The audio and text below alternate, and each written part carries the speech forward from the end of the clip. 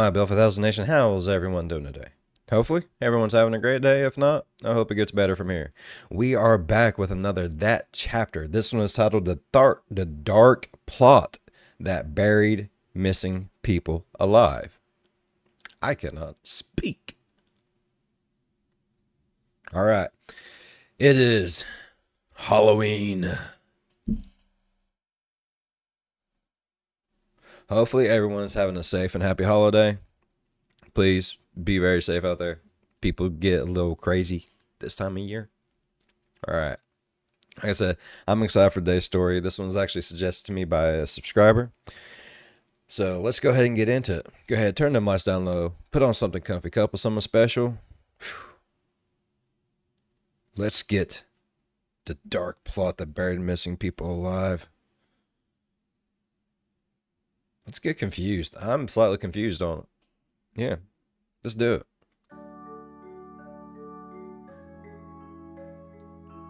Hey you, and welcome. My name is Mike, and in Hey, this Mike. old video, a school bus was driving, right, in California's Central Valley at approximately 4 p.m. This was a drop-off run after a full day at school, and the driver, who was letting kids off at every stop, when he turned a corner and saw that the road was blocked. Blocked by armed men. These men took over the bus that was still full of kids and did something to them. The only word fitting is horrifying. The actions that day were despicable, but the men behind it and what exactly they did was unbelievable. But you better believe it. So let's give it a go. What? I th- I think I heard something about this, like in the news. The 15th of July 1976 Nope. was a Thursday, right? Never mind. Never mind. Never mind. Didn't something happen like this though? In my lifetime, I was not born in the '70s. Shut the fuck up. I'm an '80s baby. All right. No, the, it's bad enough. But didn't something like that happen? my- I swear, I kind of remember hearing something like that, like whenever I was younger. And that afternoon, just after 4 p.m., Ed Ray, a 55 year old rancher, was in the middle of the Dairyland Elementary Summer School drop off run. Ed was happiest when he was working, the kind of guy who would say, you know, I'll sleep when I'm dead, you know, the kind who would never retire. Understand he was a stocky rancher, stout and tough. But the school run was his downtime, something he found easy compared to the hard labor he was used to. Ed loved kids. He was always patient with them, no matter how boisterous, loud they could be. And in fact, this particular day, they were a little bit more excited than usual because they had just come back from a trip to a swimming pool. They were full of excited energy, and Ed took it all in his stride and he indulged the kids while they sang and called out to each other across the bus. Hell yeah.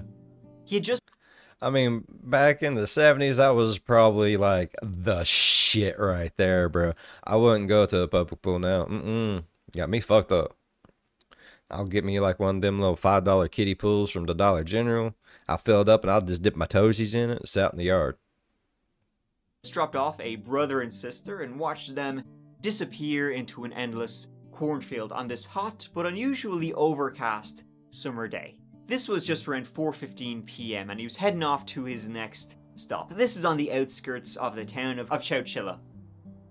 Roads are quiet and all you can see to the left and to the right are endless corn and blueberry fields. But then, driving his Sounds bus, amazing. he was forced to a sudden stop.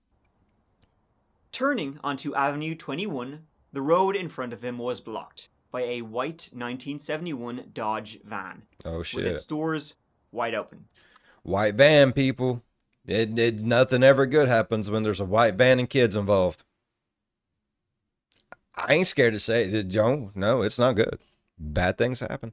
At first, Ed thought little of it, right? He tried to squeeze around the van, tried to squeeze the bus around the van. He thought, you know, maybe somebody was having some car troubles and just decided to park it in the middle of the road very obnoxiously. But then, any doubts of this being an ignorant mistake by a careless driver, those doubts were well and truly thrown under the bus. Out of nowhere, a man jumped in front of Ed. He was dressed in overalls, with his face all smushed up, because a stocking was pulled tightly over his face. Ed's eyes, squinting, were drawn to a gun in this guy's hand, and the iron was looking right at him. Before Ed could react, this man walked calmly over to the door of the bus and asked Ed, Could you open the door, please? Ed, shocked and completely blindsided, complied, opened the door. Yeah. Two more men in the same uniform joined the I mean, what do you do in a situation when there's a gun pointed at your fucking face, bruh?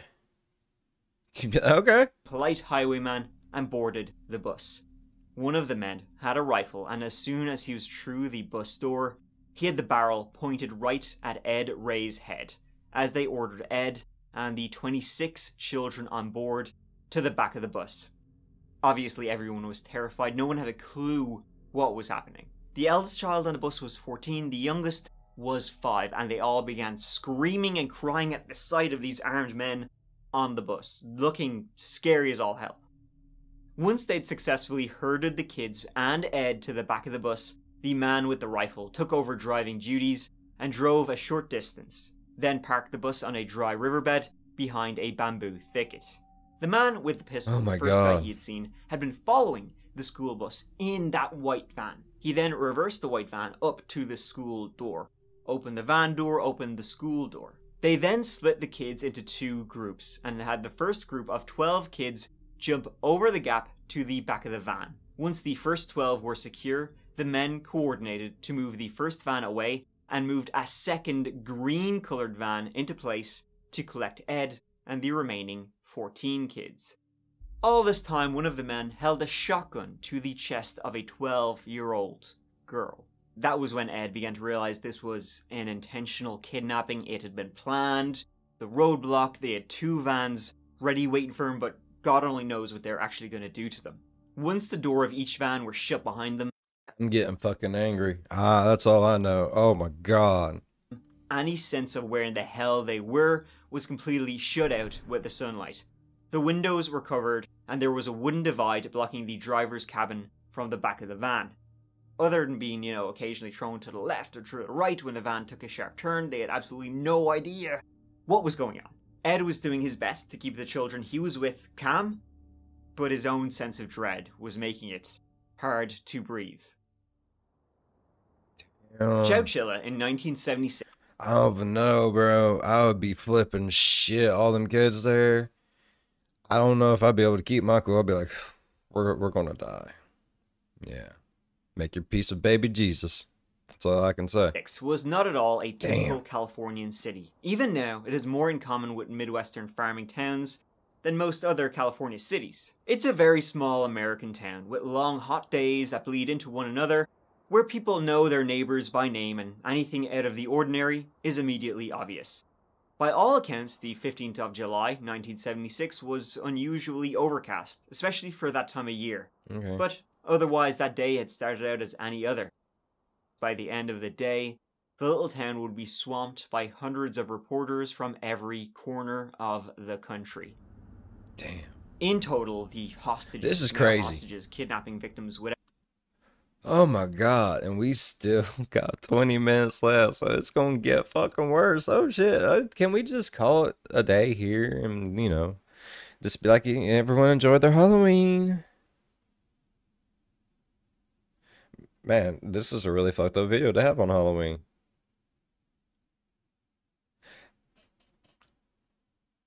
They were on the road for a total of 12 hours, driving more than 100 miles from where they'd started. That's 12 hours and 100 miles in the sweltering California summer heat. No water, no toilets, no nothing. The kids tried to look after each other, If you don't have water, you don't need a toilet that much. Just saying. and Ed and the older children led them in singing songs and trying to keep them from panicking during this endless torture. The only thing worse, though, than their conditions was not knowing if they would live to see tomorrow or not. Bro, he, didn't even have like Katy Perry or T Swizzle to sing to the those poor kids, man. They wasn't even born then. It was in the middle of the night when they finally slowed and then stopped, and the doors were opened. No fire. I'm a firework. We're gonna die. But I doubt there was any relief. Outside, it was pitch black. They had no idea where they were. This was about like 4 something a.m. They couldn't see anything around them, only the kidnappers' flashlights. One by one, Ed and the 26 children were ferried from the back of those two vans to a small hole in the middle of the dirt. A small black hole, pitch black down there. In the hole was a 12 foot ladder going straight down. And they were being forced into that hole, not knowing what the heck was down there. Before each of them was sent down the ladder, they were stripped to their underwear, starting with Ed. He was first, and he was given a flashlight before being told to head down the ladder. At the same time, the kidnappers took a roll call of their victims, one of them asking names, and the other scrawling their answers on an old fast food bag. At the bottom of the hole, then, they found what would be their jail cell, and a very hot and sweltering one, suffocating one, at that. The makeshift underground bunker was in fact an old truck trailer, buried almost 12 feet underground and topped off with tons of rocks and dry dirt. The kidnappers had prepared for their guests' arrival. Not only had they created toilets by digging out deep holes under each of the rear wheel wells, they had left several loaves of bread, jars of peanut butter, boxes of cereal, and large jugs of water. So they had a little bit in this place, but Ed's immediate worry was the lack of oxygen. That many people, even that many small people, but still in that tight a space. The trailer Yeah. was 8 feet by 16 feet, so it's pretty small when you're when there's 27 people in there. The kidnappers though had thought of that and put in two ventilation shafts that, that let in air, but just about let in air. It was still extremely hard to breathe in there, extremely hot, and claustrophobia set in for those 27 people in there. Ed's next worry was just how deep they were. Could the roof sustain the weight of the earth above? He knew though there was I mean there's little you can do about it. You just gotta try and try and wait it out. Hope hope rescue comes. Try and just keep yourself and the kids from panicking. Bro, I'm panicking and I'm not even fucking there.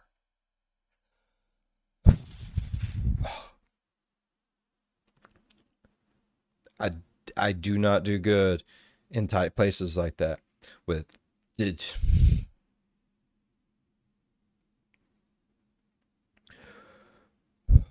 Oh.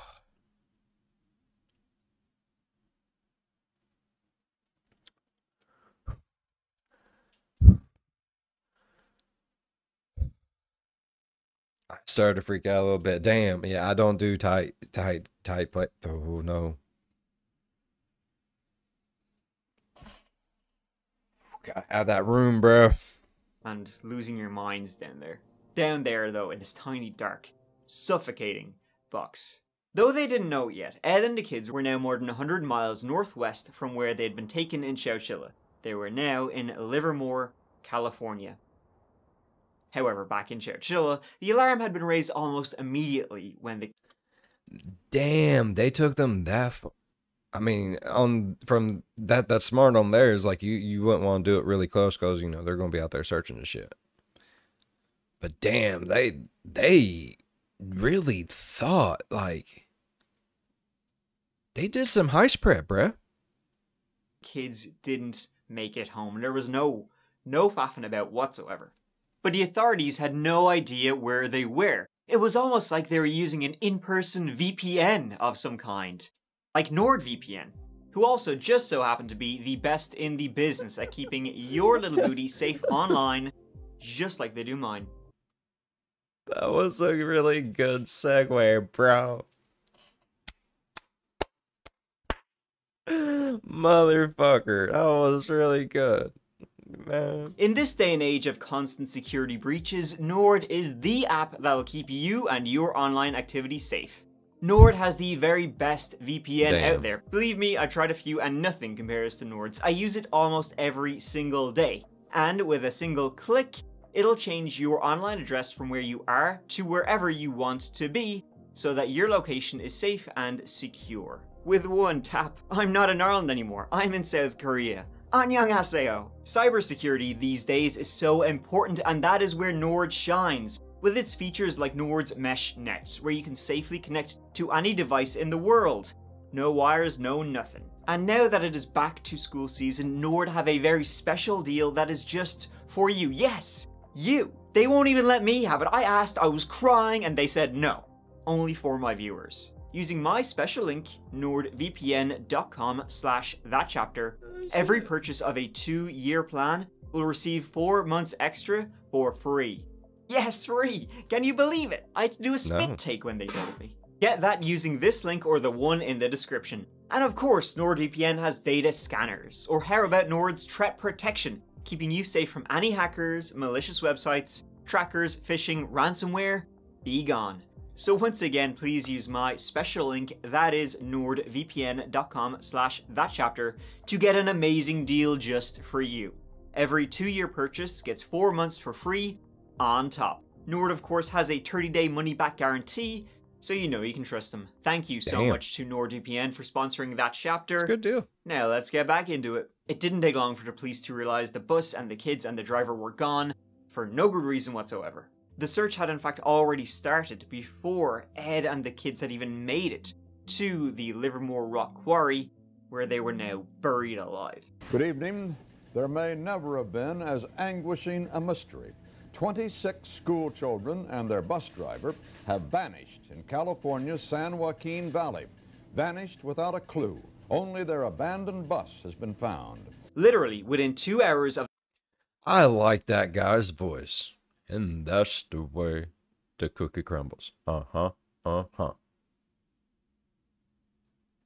the kids and Ed being taken, authorities had a plane in the air, and by that evening it was national news. President Gerald Ford and the Californian governor, Jerry Brown, both gave all law enforcement agencies involved in the search for the children carte blanche to do whatever they needed, whatever the cost, to find the missing kids and get them home.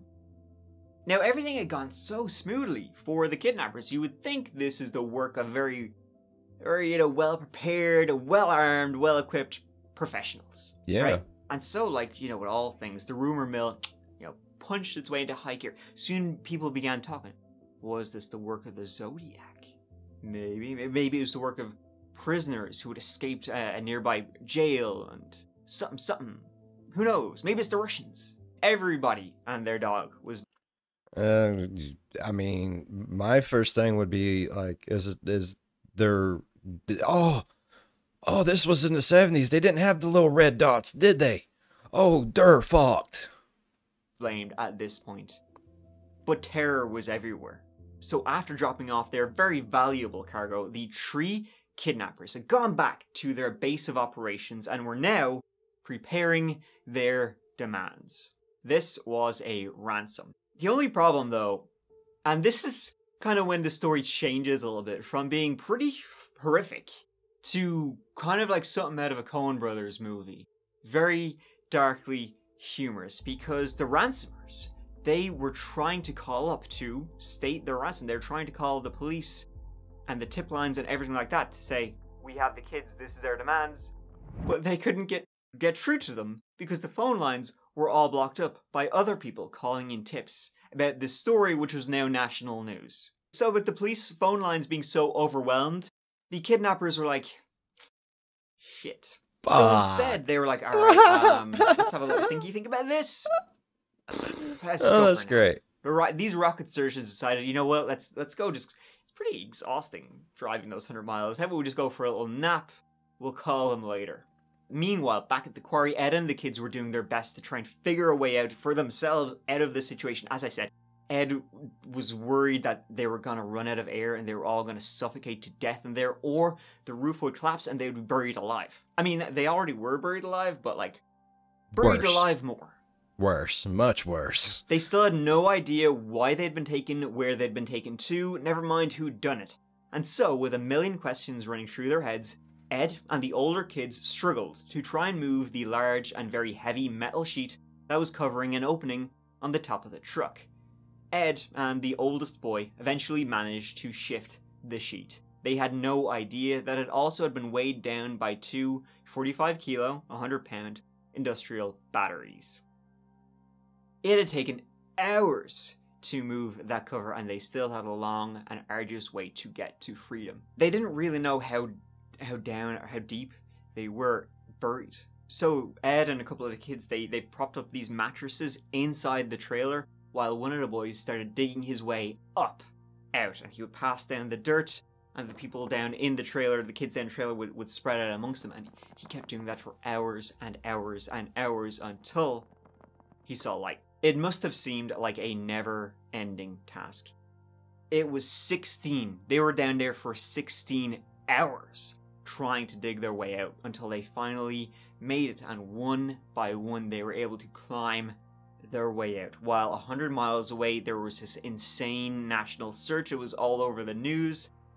26 children and Ed managed to crawl out of this buried trailer in the middle of this quarry. They had no idea where they were. The only thing they had they were wearing was underwear. They were completely lost, as you can imagine, terrified, sick, whatever, exhausted. They managed to walk their way to a manned shack at the entrance of the quarry, and I can only imagine the person there was pretty surprised to see them. The kids and Ed Ray managed to walk out of the gates, physically unharmed, other than minor cuts and bruises, but carrying psychological scars that would haunt them for the rest of their lives. They were checked over briefly at the scene before being loaded up and onto a new bus, which they must, must have loved that, and driven to a nearby rehabilitation center, the closest facility that could handle them all. Once there, they were fed and checked over properly by emergency responders, and all found to be in good physical health. By this stage, the kidnappers had woken up from their little nap, bleary eyed. Those poor babies. Oh my god, I wouldn't go back to school. There, you couldn't make me. I would never want to be on a field trip again. I would never want to go back. No, I'd be done. It'd be over. Mm-mm. Public transportation's ruined forever. You know, turned on the TV and saw the news that their kidnap kidnapping victims had a, had freed themselves and had escaped. kidnappers hadn't even gotten a chance to send in their demands, and now they had nothing. The hostages were then finally returned to Chowchilla by bus, this time with a police escort, shortly before daybreak on Saturday, the 17th of July, 1976. By that afternoon, all of the kids and Ed were safely back home. The sheriff's office and the FBI were following up on every single tip that came in, right? They, uh, they, they dug out the, the trailer that was buried in the quarry to scour for any clues as to who could have done this. Investigators quickly discovered that the trailer had been buried in the quarry for eight months, being put there in November 1975. Damn. For obvious reasons, it was the quarry's owner, Frederick Nickerson Woods, who was, you know, first scrutinized as to, you know, were you involved? It, he owned the Was he? land, he owned the quarry that this had happened in. They started by searching his 100 acre estate in Portola Valley, over 130 miles away from the quarry. Frederick is a very wealthy man. He owned quarries and land and blah blah blah blah all over the place. He was Yeah. money bags, mister. Frederick, now, by the way, he had nothing to hide. But his 24 year old son, Frederick Woods IV, had a fair bit to hide and consequently was nowhere to be found. He's 24 years old in this picture. Wow, he looks like shit. Not me. It didn't take long for them to find that his two best friends, 24 year old James Schoenfeld and his younger brother, 22 year old Richard Schoenfeld, the gruesome twosome, They all almost look like the same fucking person. had also seemingly vanished. Authorities they prepared to issue an all points bulletin to try and find these three missing men who now it definitely seemed like were their prime suspects. Shady as shit, Office, bruh. The FBI, they were all preparing for what they actually started to believe would be an international manhunt Hell yeah. to find them. We The love search man itself is centered in both California and Nevada on the theory that the suspects like could the very well have headed east. I like the little manhunt picture. That's it's so cute. Oh. Being sought are three men puppy. and two vans. The tree suspects were all men of considerable means. Frederick's father and his family were obviously wealthy, owning the quarry and several other lucrative businesses, and the Schoenfeld brothers were sons of a wealthy podiatrist. Which it makes the whole story of the kidnapping and the ransom that they didn't even, Even get stupider? to all the more strange. It's not like they needed money. Like they came from wealth. But as I said, they didn't even get a chance to ask first. This story is ludicrous. Before the hunt could even kick into full gear, however, on July 23rd, just over a week since the kidnapping, Richard Schoenfeld, accompanied by his father and attorney, surrendered to police in Oakland. He was held on $1 million bail. His brother, James, and Fred Woods were caught three days later. Fred Woods, who's kind of like thought to be the ringleader of this whole operation, he had fled to Vancouver, uh, British Columbia, and he was actually arrested outside of a post office by RCMP officers who were, you know, alerted by the FBI in America to be on the lookout for this guy. And then um, James only got so far as Menlo Park in San Francisco before he was he was actually preparing to give himself up by the time he's arrested. As you can see, these are not like career criminals. The No, trial was moved to. Alameda County because of just how infamous the crime had become where it happened in Madera County. On July 25th, 77, all three suspects became convicted perpetrators when they all pled guilty to 27 counts of kidnapping for ransom. In return, the state dropped 18 counts of robbery. The evidence was pretty overwhelming, um, which I haven't even gotten to when they did the search of the property where I believe this whole thing was orchestrated. So they, but anyway, I like the little smirk he had. I'm excited. they didn't really have it. They knew they were going to go away. They didn't have a hope in hell. See, because during the search of the Woods estate, when they were still trying to find these guys, investigators discovered a draft of a ransom note which they'd signed off with Beelzebub. The note asked for $2.5 million in return for the children, which they later increased to $5 million, which is about 25 million in today's money. Authorities also had a copy of the handwritten play-by-play instructions the Inept gang had written out in preparation for the kidnapping.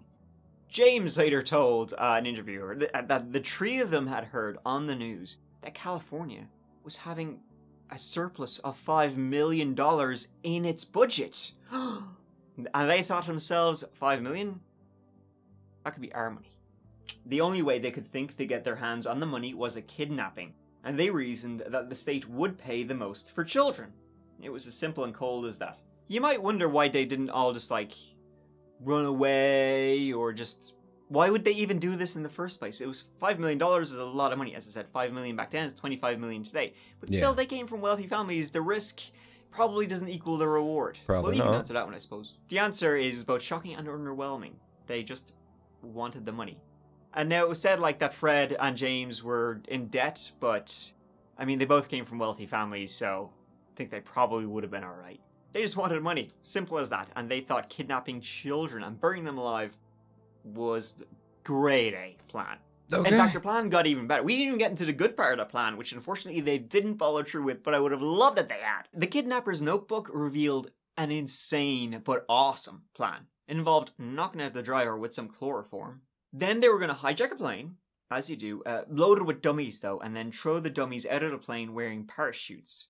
You know, so they would think that was the children while they flew away. And they'd even planned on getting hold of an X-ray truck, an X-ray truck and lead vests, so they could check the money when they were finally given it to make sure there was no no tracers or nothing implanted like within the money. Thought of everything. These guys couldn't even stay awake without needing a nap long enough to see how their plan actually ended badly. Never He's mind. a point. He's got a point. somehow get a hold of a portable X-ray machine. Maybe they thought they would escape to the moon too. The point of all this testimony is an attempt by the prosecution to show that there was indeed a great deal of bodily harm Oh, inflicted on the Chowchilla kidnap victims. If they can establish that to the satisfaction of Judge Leo Deegan, then the three defendants could be sentenced to life imprisonment without possibility of parole. I hope On they December get it. 15th, 1977, all three men were found guilty of three counts of kidnapping with bodily harm. It would usually end with mandatory sentence of life in prison, but the three were given the slightly lesser sentence of life with the possibility of parole. James and Richard Schoenfeld were both paroled first.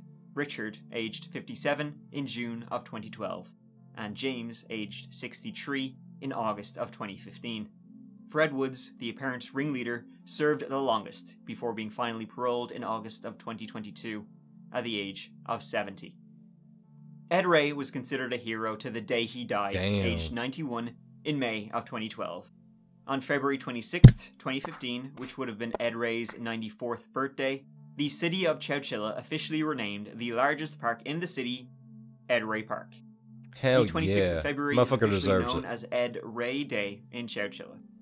Obviously, it's you know pretty funny to poke fun at how stupid and bad this plan went, and how those the brain trust over Yeah, it, that part is hilarious, but man, those kids and that poor fella are traumatized for life. Did he continue driving the bus after that? Like, I wouldn't. here I'd be out. everything wrong, and they're clearly idiots. But this um this whole event had some real like Horror. shocking aftermath to some people. You know, some of the victims they had psychological trauma. They still live with the trauma of what happened to them, being buried alive. Some ended up with multiple arrests, with substance abuse issues. Yeah, being stripped down to your skivvies, thrown inside of a hole, having to claw and dig your way out. All because someone wants the money. Like, it's not even because, like, it's not even like something you'd see in the movies, like, I gotta take over the world. Like, you can't be part of a cool story. Like, it's like, why, why did you have to go through this? Because three pieces of shit wanted a little extra money.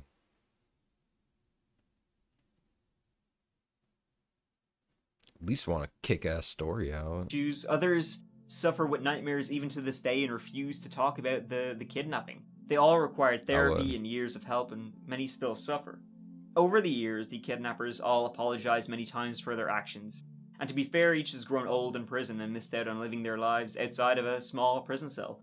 That's their problem. Essentially, they themselves, in the end, were buried alive. Good. Who knows if they're really evil you- or not? I'll leave that to what they you get. to decide. That's what they deserve. Because I, who knows if the kidnappers would have actually left their hostages to die in that buried trailer or not? Would they have left them to rot in there? If they hadn't seen that the hostages had managed to escape on the news, they very well may have gone back for them and freed them and called the whole thing off. They only ran and abandoned them once they knew they had been found. Though the hostages may have also died if they hadn't freed themselves. No one knew where they were. Who knows if they would have gone back for them? And also, the roof was caving in. Either way, what happened was the best outcome for everybody. It was a terrible, stupid, and horrific plan. I, I don't think I would go so, so far to call these guys evil, because I don't really think they're evil. I just think they're very, very stupid. I And agree. it's probably best for everybody else that they were in prison this whole time. And that will do I it agree. for this whole video. Thank you. Man, Mike, see, we think alike, bud. I agree 100%. The world is a better place with them in there. It would probably be an even better place if they was all still in there instead of being out. I don't give a fuck how old they are. You mess with kids, man. You you don't deserve to have a life after that. Period. You don't. I, I can't I, I can't handle that. Like adults is one thing. Like but whenever kids are brought to a situation, whoever's doing the crime, I'm sorry, it, they need life, period. If you're getting time and it's going to be a long time for doing whatever you did to the kid, it just go ahead and make a life. You don't need to be out. You don't need to be free. No other kid needs to have that potential that you're going to do it to them. They should have died in there. That's my opinion. And I'm okay with that. All right, I really enjoyed today's video. If y'all enjoyed today's videos as much as I did, please go down there, leave a thumbs up. While you're down there going over, ding that bell. It don't work very often, but it might. And if you want to ding that bell, then that means you must want to subscribe. Go ahead, uh, take your time. I'll give you a moment. Welcome. All right. And if you want, go down to the description, check out the BIL5000 store. We got some new merch up and we even got some stuff up for the holidays. That way, in case you want you know, spread the cheer of BIL5000 to your family, go right on ahead. As always, be good to one another. I'll see you in the next one. Bye bye. Man, I there, it was a horrifying story, but yet hilarious, hilarious all at the same time. Like it's like reading a Goosebumps book, bruh.